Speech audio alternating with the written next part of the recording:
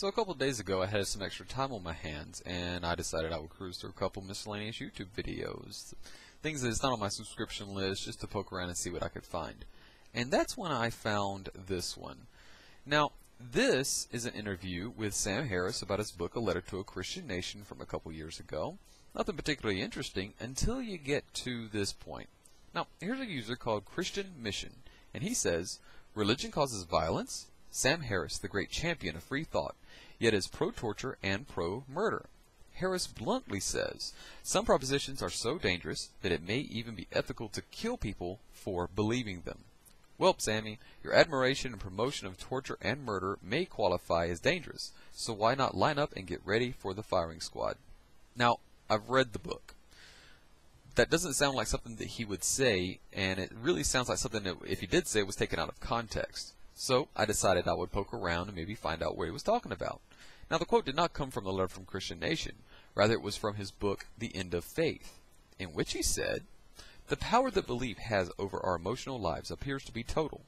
For every emotion that you are capable of feeling, there is surely a belief that can invoke it in a matter of moments. Considering the following proposition. Your daughter is being slowly tortured in an English jail.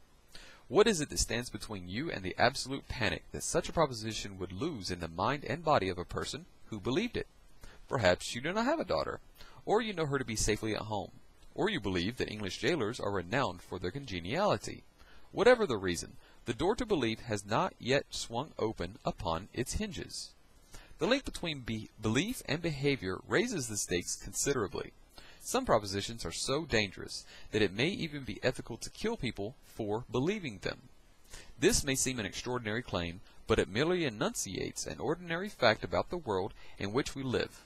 Certain beliefs place their adherents beyond the reach of every peaceful means of persuasion, while inspiring them to commit acts of extraordinary violence against others.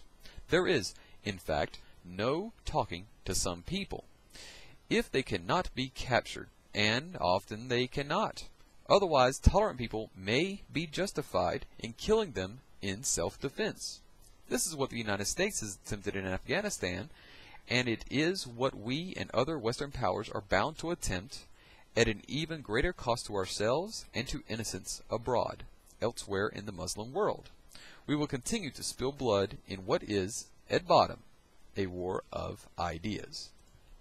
Now, put into that particular context, it's still an extraordinary claim, but at least it is in a context in which you can understand what Sam Harris was actually trying to say. So, I wrote a response back to Christian Mission, which says, if you're going to attack him, then you should at least get your context right. Read the end of faith, pages 52 to 53, to get the correct context of that statement. And stop spitting out mis common misquotes, like everyone else. Also, even if he had said that, how the hell did you get torture out of it? That passage didn't say anything about torture. So after I posted that, I got a little curious and I wanted to see who this Christian Mission guy was. And that's when I went to his site. Let's take a look at a couple of his videos.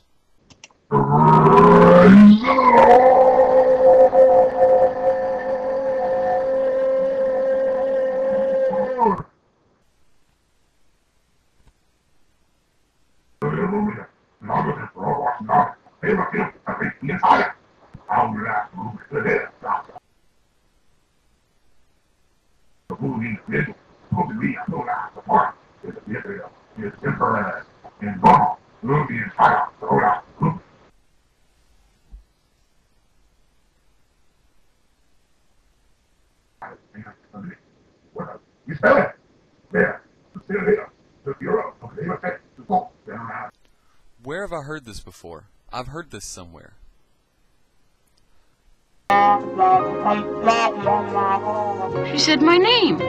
Did you hear that? Did you hear how she said my name? Of course she said your name. She was calling the roll. Okay, okay, I'm kidding. It was actually.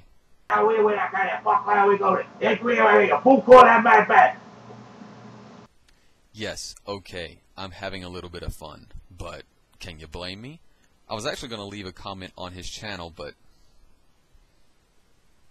Nah.